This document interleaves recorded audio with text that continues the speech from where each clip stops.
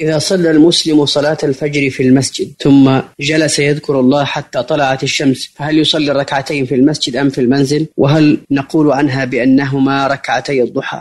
يصليها في المسجد في مكانه في مكانه قبل أن ينصرف. يبقى في مكانه الذي صلى فيه فإذا ارتفعت الشمس صلى ركعتين ثم انصرف إلى إلى عمله أو إلى أهله.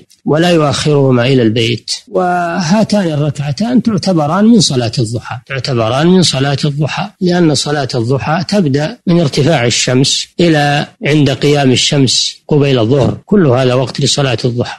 فإذا صلى من أول الوقت ركعتين فإن هذا يعتبر من صلاة الضحى. لأن صلاة الضحى أقلها ركعتان وأكثرها ثمانية ركعات. نعم.